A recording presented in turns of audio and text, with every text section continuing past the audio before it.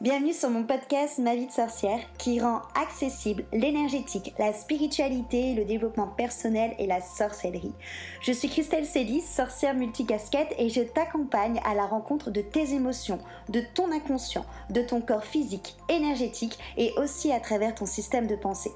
Tu l'auras compris, ensemble on part à la rencontre de ton intériorité dans sa globalité afin que tu deviennes la reine de ta vie et ainsi transformer tes freins tes blessures et tes croyances limitantes. Ici, dans ce podcast authentique et frais, je partage avec toi des sujets autour de réflexion, de développement perso et spirituel, de pratiques et d'outils magiques. Seul ou accompagné, je fais un point d'honneur à rendre chaque épisode complet, ludique et accessible pour que tu puisses incarner la sorcière moderne, la femme sauvage et sacrée que tu es. Et si cet épisode ou ce podcast peut résonner avec quelqu'un de ton entourage ou lui être utile, je t'invite à le partager et même à le noter avec la note de ton choix.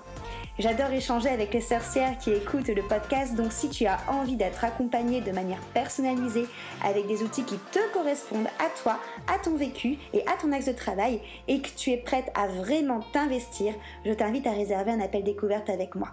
En attendant de pouvoir échanger ensemble, on passe à notre sujet magique du jour. Bonjour à toutes, je suis Christelle de ma vie de sorcière et aujourd'hui je te retrouve autour de mon chaudron magique pour parler des masques qu'on peut avoir et de ce qui se cache à l'intérieur de nous, au plus profond de nous.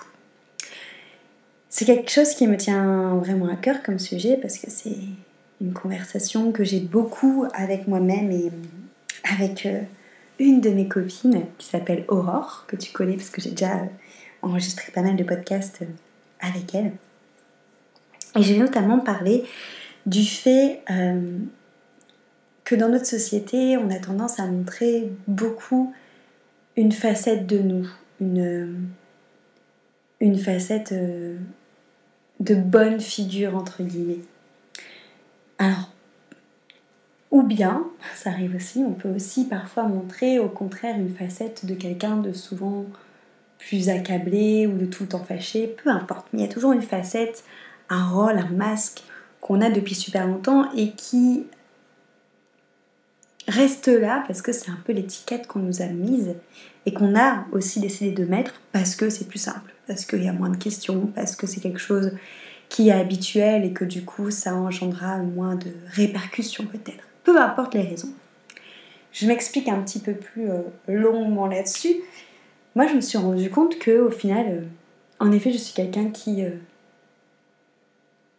qui est toujours très, très souriante, très joyeuse. souvent, en effet, identifiée comme quelqu'un de très, de très solaire. Mais en fait, je sais que ça fait longtemps hein, que je le sais, que j'ai calculé ça à l'intérieur de moi, que j'ai connecté ça à l'intérieur de moi, il y a une tristesse profonde. Et c'est là-dessus que je voulais te faire un épisode, c'est pour justement, je vais forcément parler beaucoup de moi dans cet épisode parce que c'est ce que je maîtrise le mieux et que je peux mieux parler vu que je vis avec moi-même. Mais cette notion, tu vois, par exemple, que de montrer tout le temps cette ce côté hein, que j'ai de ma personnalité, hein, qui est en effet très souriant, très jovial, très, euh, très solaire, mais qui renferme derrière une profonde tristesse. Et ça veut pas dire que je... Ça veut pas dire quand on fait ça qu'on ment ou qu'on se voile la face sur quelque chose. Je pense que les deux personnalités, enfin ces deux euh, pans font vraiment partie de ma personnalité profonde.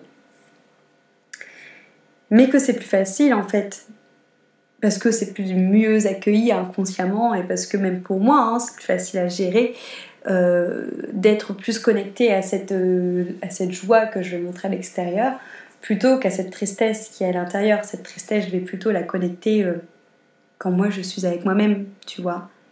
Quand je me pose plein de questions existentielles, quand, quand, quand je me ressource avec moi-même.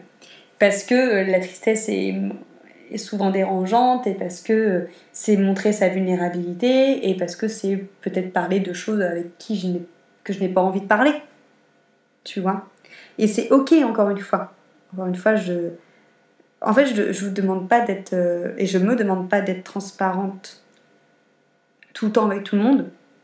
parce que pas forcément, c'est pas une obligation. Mais par contre, d'être transparent avec soi et d'être authentique avec soi et de savoir vraiment qu'est-ce que tu as à l'intérieur de toi, ça pour moi c'est beaucoup plus important, plutôt que de le verbaliser aux autres, de le verbaliser à toi-même. Et du coup, c'est là-dessus que je voudrais en fait poser un peu l'éclairage aujourd'hui. Je voulais te poser la question de toi justement. Est-ce que tu arrives à savoir qu'est-ce qu'il y a profondément à l'intérieur de toi? Et euh, quelle partie ressent ça? Pourquoi tu ressens ça?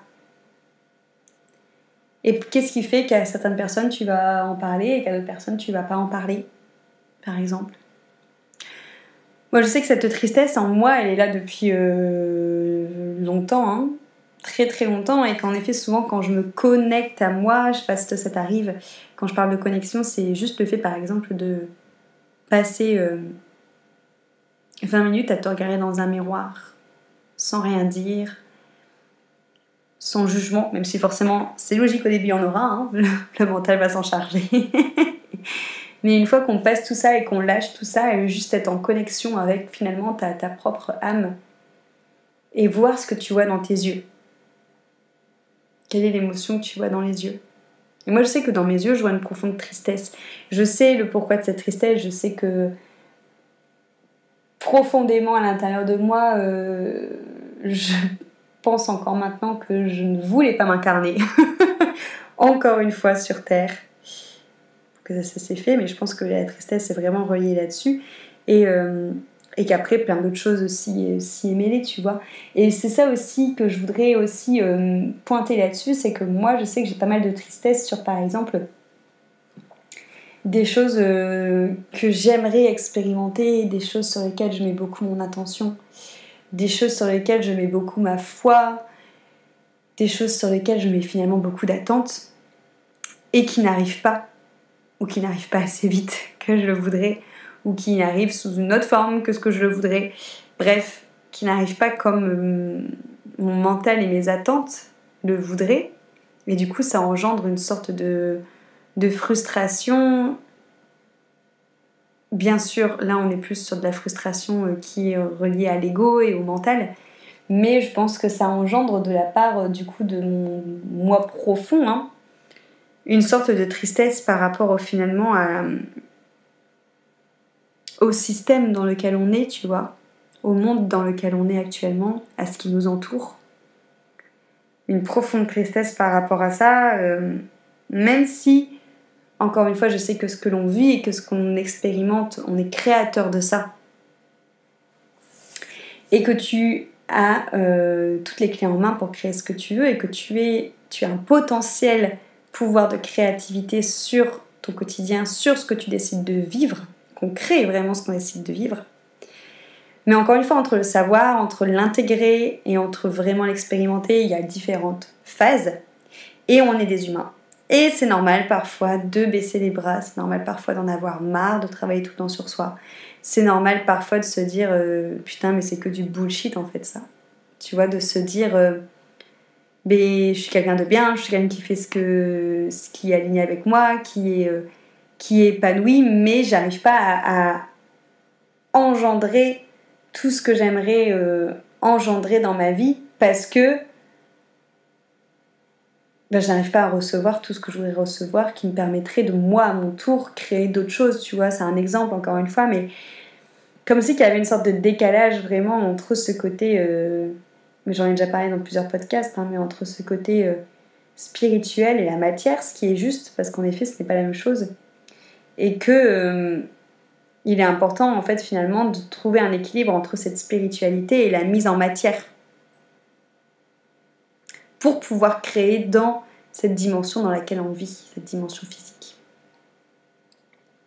Donc voilà, tout ça pour dire en fait que c'est important, je pense parfois, d'oser faire des pauses, d'oser se laisser respirer, d'oser se reconnecter à soi sans attente, sans en attendre davantage, sans... Euh, sans essayer de trouver à chaque fois des pourquoi du comment, tu vois, sans essayer à chaque fois de de transformer, de transformer. Des fois, on a juste en fait besoin de ressentir, d'être, de respirer et d'accueillir en fait cette émotion profonde que tu as à l'intérieur de toi, que ce soit de la tristesse ou de la colère, sans même forcément essayer à chercher de, à comprendre pourquoi en fait, mais juste déjà la vivre et, euh, et la reconnaître. Tu vois, moi je sais qu'elle est à l'intérieur de moi, je la reconnais.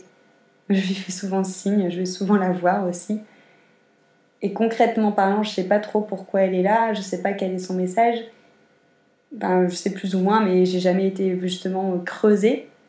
Peut-être parce que j'en ressens pas l'utilité pour le moment, peut-être parce que je suis pas prête pour le moment, peut-être parce qu'on s'en fout. J'en sais rien, tu vois, j'ai pas la réponse. Peut-être que c'est un petit peu de tout. mais tout ça pour te dire en fait que c'est des fois le fait de ne pas se rendre compte de cette émotion qui est sous-jacente à l'intérieur de soi, c'est ça qui fait que des fois on n'a pas l'impression d'être aligné avec soi-même, tout simplement. Et c'est pour ça que je t'invite en fait à, à regarder à l'intérieur de toi ce qu'il y a. Juste pour, euh, encore une fois, essayer de connecter avec la globalité de qui tu es, avec toutes les parties de toi et toutes tes émotions et tous tes ressentis. Donc voilà la question que je te pose aujourd'hui. C'est quand tu te regardes dans le miroir, quand tu te regardes dans les yeux dans le miroir, quelle émotion tu vois à l'intérieur de toi c'est pas obligé d'être une émotion euh, basse entre guillemets, hein. je mets des guillemets quand je dis ça, mais euh, parce qu'elle est, caractérisée telle. Hein. Il y a des personnes qui vont avoir une profonde joie de vivre. Et c'est beau aussi. Toutes les émotions sont belles en fait. Moi, ce que je te demande juste, c'est pas de poser un jugement, c'est juste de prendre le temps de te regarder dans le miroir et de te recueillir, de te connecter à cette part-là qui est dans tes yeux. Qu'est-ce qu'elle dit? Qu'est-ce qu'elle ressent? Je te laisse faire cet exercice et je serai ravie que tu euh, m'en dises un peu plus, que tu euh, me partages, que ce soit sur Instagram ou par mail ou lors d'un appel découverte si tu as envie qu'on travaille plus loin ensemble euh, avec élévation ou immersion. Tu peux retrouver mon univers dans la barre de description, je te mets le lien. Et si tu penses que cet épisode peut aider ou peut faire interroger quelqu'un sur ses, ressentis intérieurs et sur le fait de connecter son intériorité, je t'invite à partager cet épisode. Merci beaucoup pour son écoute et à très vite.